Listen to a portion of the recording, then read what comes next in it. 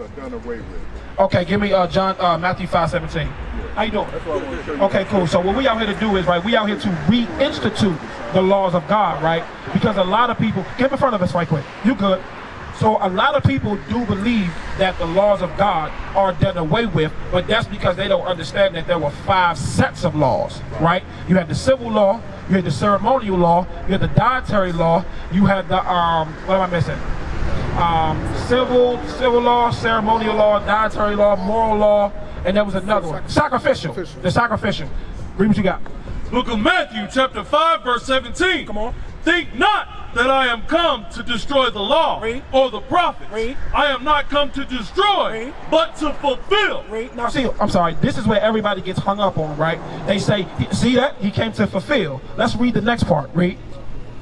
For verily I say unto you, till heaven and earth pass, one jot or one tittle shall in no wise pass from the law till all be fulfilled. Is heaven and earth still here today? Give me John 1, verse 29.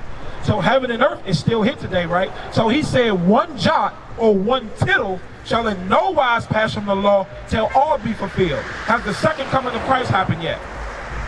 No. Has the 144,000 woke up yet? No. So all so the laws cannot be done away with. I'm going to show you what law he did away with. Read. Book of John, chapter 1, verse 29. Uh-huh. The next day, John sees Jesus coming unto him and Uh-huh. saith, What? Behold, the Lamb of God, which taketh away the sin of the world. What was a lamb used for in the old covenant? Say it again. The herd. Right, but so why, why would we kill a lamb in the old covenant? What was it called? It was sacrifice. Sacrifice. So what we would do was, let's say you committed a sin, right? When you committed a certain sin, that had to it had to it had to have a certain criteria behind it, right? Let's say I had sex with your wife. There's no sacrifice for that. I have to die. You see what I'm saying? Right. But now there's certain sins. So what, give me Acts 13:38. There's certain sins, like I'll give you an example for stealing. If you stole, that's not punishable by death, but you did have to repay it sevenfold. Oh, but you didn't get put to death for it. So certain laws you died for, and certain laws you didn't. But it, that so the animal was based on that. So when Christ came on the scene, he was called the Lamb of God. I'm gonna show you why. The book of Acts, chapter 13, verse 38. Come on. Be it known unto you, therefore, men and brethren, Right. that through this man is preached unto you the forgiveness of sins. And by him all that believe are justified from all things from which ye could not be justified by the law of Moses. So Christ had to come because there were certain our people had gotten so far away from the laws of God that, w- that they couldn't sacrifice anymore. There was adultery going on in the land. There was murders of brothers going on in the land. Brothers were sleeping each- with each other's wives. Brothers was eating shrimp, crab, pork, and lobster. They was uh, they were sacrificing um, they were sacrificing to false idols in the temple of God. Christ had to come so that way we could we could return back to the Father because we broke the covenant. When we broke the covenant, that it now the old covenant that you read about of animal sacrifice is null and void now. So now there's no sacrifice for our sins. Give me um uh, John 5 and verse 45. So what I'm showing you is that the laws of God are still here. For example, sh- I, should I kill? That's the law of God. See what I'm saying? Should I eat? Um, I'm gonna use. So, so basically, you're saying we, we basically pick and choose what laws to follow. That's what we're doing. But who taught us that? Bring it out. Perception. Mass perception. The Christian church taught it to us. The Christian church taught us that all God's laws are done away with and that we're all equal under Jesus Christ because they are trying to escape judgment. Don't God love You God? sound- you play the drums at your church, right? You play drums at Okay, your church. I got you. Watch this. The book of John, chapter 5, verse 45. Come on. Do not think that I will accuse you to the Father. Read. There is one that accuses you, even Moses, uh-huh. in whom ye trust. Read. For had ye believed in Mo- believed Moses, uh-huh. ye would have believed me. So the Bible says, had you believed Moses, so he's talking to the Pharisees, right? He telling the Pharisees, you say you believe Moses, how come you don't believe me? Watch, read. For he wrote of me. Moses was writing about the coming of Christ. Right. Everything that Moses wrote about, it came from the Spirit of Christ. Read. But if ye believe not his writings, Uh-huh. how shall ye believe my words? So now in today's time, if you don't go and study Moses or you don't know his words, how are you going to believe Christ? where, where, where, where, do, where, the grace, where do we apply the grace in? Romans chapter 6. I got you. Bring it out. Romans chapter 6. Because grace, remember, I'm going to read two scriptures, right? Right. Right, grace is, but can you willfully sin because of grace? No. No. Okay, I'm going to show you. Read. The book of Romans, chapter 6 and verse 1. What shall we say then? Uh-huh. Shall we continue in sin Read. that grace may abound? So shall we continue sinning because we're under grace? No, you shouldn't let that. No. Okay. God forbid. Read. How shall we that are dead to sin live any longer therein? The Bible says if we are dead to sin, how do we live any longer therein? I'll give you an example. If I'm an adulterer, right, and I say that I repent from my adultery, right, but then tomorrow, or that was so if I cease from it, that's what it means to be dead. Let me backtrack. When I cease from it, that means I died, right? So now, if you see me tomorrow committing adultery, am I dead to the sin? No, I'm still alive and well in the sin, but that grace doesn't apply to me then. I'm going to show you, ma- uh, right quick. Titus, Titus 2 and 11. Yes, sir. Show 'em what grace is. But Titus 2 and 11. Go ahead. The book of Titus, chapter 2 and verse 11. For the grace of God that bringeth salvation hath appeared unto all appeared to all men, teaching us that den- teaching us that denying ungodliness and worldly lust, we should live soberly, righteously, and godly in this present world. The Bible says that we're supposed to live soberly, righteously, and godly in this present world. That's what grace is supposed to do. It's supposed to teach you how to live in the world. So now watch this. Give me Hebrews 10 and verse 26. You're supposed to be in the world, but not of the But not of the world, right? So I'm gonna show you, I'm gonna show you, I'm gonna show you what Paul said. Read. The book of Hebrews, chapter 10 and verse 26. Come on. For if we sin willfully after that we have received the knowledge of the truth, there remaineth no sacrifice for sins. So now there's no sacrifice for your sin if you are willfully doing it. If you are willfully sinning, there's no sacrifice. Now I want to deal with the word that was in Titus, right? He said we should live righteously. Right quick, give me um give me um 6 and 25. Righteous. uh, uh yes, yes. Get Deuteronomy 625 and then we're gonna go to um and then I want to go to because I, I want to deal with a, a question that you asked before you leave. Read this. The book of Deuteronomy, chapter 6 and verse 25. And it shall be our righteousness if we observe to do all these commandments before the Lord our God, as he hath commanded us. The Bible says to be righteous means that you have to be doing the commandments of God. That's what the Bible says, right? So now, um, um, Romans 5 in the last verse, right above 6, and then I want Romans 9. Because you asked the question, right? You said, does God love everybody? I'm going to answer that with the Bible, and I want you to decide if God loves everybody based on what the scripture says. Okay, read what you got. The book of Romans, chapter 5 and verse 21. Out of verse 20. Verse 20. Moreover, the law entered that the offense might abound. So the law had to come so that way the people would know you are in error. Read.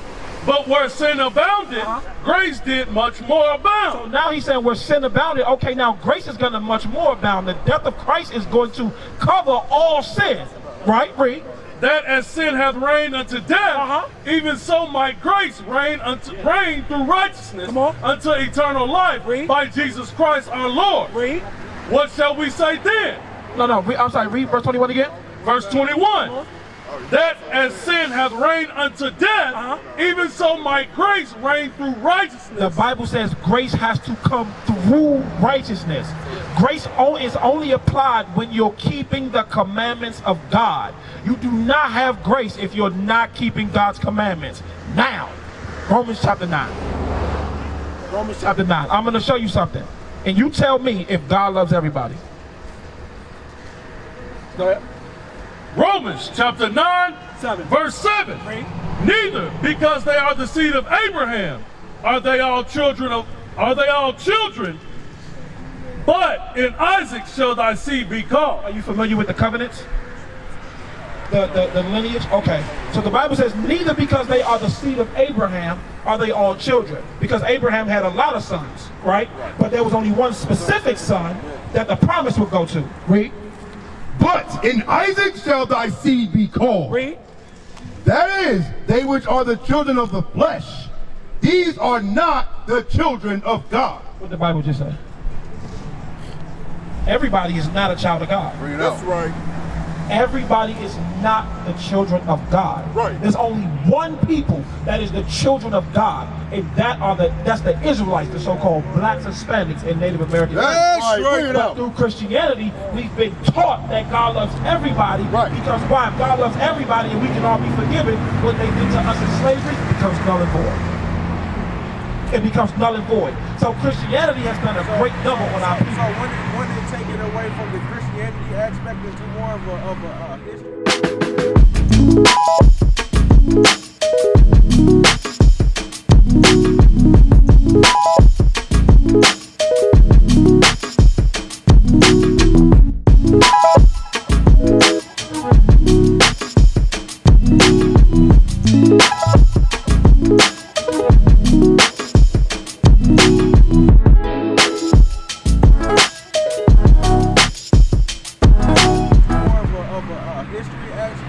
Bible is. Of a, of a like a uh, like an ethic, like a racial. It is. Yeah. It is. Because whether we know it or not, God himself is racist. Bring it out. Deuteronomy 28 verse 1. Uh, finish that. No, finish that.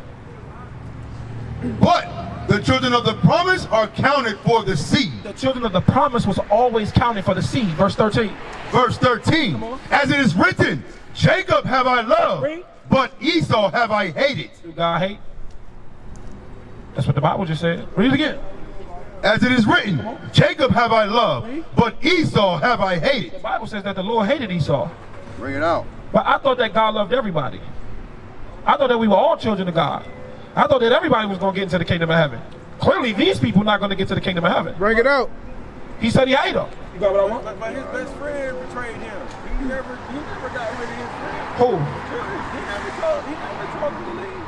Gee, right, he hung himself. Remember, the Bible says, woe, woe unto the world for offense sake, but even more woe to those that it come by. So you're right, he could Judas have maybe, possibly been forgiven? Who knows? But the Bible says he killed himself. So guess what he died in? His sin. Bring it out. He died in his sin. So he got he had to get his judgment. You understand? Read what you got. This is the book of Malachi, chapter 1, verse 2. I have loved you, saith the Lord. Yet ye say, Wherein hast thou loved us? Was not Esau Jacob's brother? saith the Lord. Yet I loved Jacob uh-huh. and hated Esau, and laid his mountains and his heritage waste for the dragons of the wilderness. Where is Edom saith, We are impoverished, uh-huh. but we will return and build the desolate places. Thus saith the Lord of hosts, They shall build, but I will throw down, and they shall call them the border of wickedness, uh-huh. and the people against whom the Lord hath indignation forever. The Bible says that he will have hatred for them forever. Bring it out. So now the question is, who the hell is Esau? Bring it out. Who is Esau? Because we have the problem. The, the word, the root word in Scripture is script. Right. The Bible is a script of how world events will play out. Bring it out. The problem is nobody knows the characters. Bring it out. So now we're going to identify the character. I want Obadiah. Obadiah chapter 1. I'm going to show you the characteristics of Esau, and you tell me who this man is. Bring it out. I'm going to show you something. Once you understand the characters, you understand the story. You understand who the main character is. You under, what is it? The antagonist and the protagonist. Bring it out, huh? You got to understand those people. Right. If you don't understand the characters in the Bible, you're not going to understand the book. Bring it out. This is the book of Obadiah, chapter 1. The vision of Obadiah. Thus saith the Lord God concerning Edom. So this is concerning the people against whom the Lord have indignation forever. Read. We have heard a rumor from the Lord, and an ambassador is sent among the heathen. Read. Arise ye, and let us rise up against her in battle. Behold, I have made thee small among the heathen. Read. Thou art greatly despised. So the Bible says that the nation of Edom in the last days would be greatly despised. What nation on the earth is greatly despised today? Bring it out. Say it. You can say it. Huh? The so-called Caucasian man. Bring it out. The most despised man. Everywhere he go, death follow. Everywhere he go, death follow. Okay, read. The pride of thine heart hath deceived thee, thou that dwelleth in the cleft of the rock. What's the word Caucasian mean? What's the word Caucasian mean, my brother? Hold on, hold on, let me finish this one and then I'm gonna let you go. Let me finish this one. What's the word Caucasian mean? Caucasian white. Right. Well, what is it? Said what the word Caucasus comes from where? From uh, from the, the, the land, right? The Caucasus Mountains of Georgia, Russia. Right. So the Bible says that Esau would be from the mountains. They said that dwells in the clefts of the rock. Didn't Caucasians come from the clefts of the rock? Bring it out. Okay, read. The pride of thine heart hath deceived thee. Read. Thou that dwellest in the cleft of the rock, Read. whose habitation is high, Read. that saith in his heart, Read. Who shall bring me down to the ground? Read. Thou thou exalt thyself as the eagle, As the what? as the eagle. What nation of people exalt themselves? Somebody give me a dollar. Who got a dollar? Yep, Anybody got got a dollar? right here. You got How the much? sign. Huh? You got the sign. Oh, we got a sign? Let me see the Sign. You put that money up sign. right Watch here, this. right. Watch this. Take a look at this. The Bible says, the Bible says what? Read it again. Don't I do what? Though thou exalt thyself as the eagle. Look at the Greeks. Yeah. The Greek coin. What's on the back? What's that? What bird is it? It's an eagle. The Roman coin. What's on the back? The Spanish coin. What's on the back? The American coin. Bring it out. What's on the back? What's this? Who who symbolize who uses the symbol of the eagle for everything? Bring it out.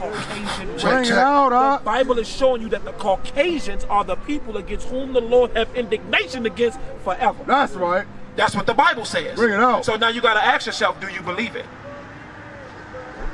Because what the Bible say, right? Read. Though thou exalt thyself as the eagle, Read. and though thou set thy nest among the stars, Read. this will I bring thee down, saith the Lord. The Bible says, I'm going to bring you down to the ground, saith the Lord. Read, you got to go back to work. Read verse 17. Verse 17. But upon Mount Zion shall be deliverance, and there shall be holiness, and the house of Jacob uh-huh. shall possess their possessions. Uh-huh. And the house of Jacob shall be a fire. So the Bible says the house of Jacob, that's us, we're going to be a fire. and the house of Joseph a flame, That's the northern kingdom. and the house of Esau for stubble. So the people who represent themselves as the eagle, they're going to be stubble. Right. Let's see what he says. And they shall kindle in them and devour them, Uh-huh. and there shall not be any remaining of the house of Esau, Why? for the Lord hath spoken it. What the Bible just say?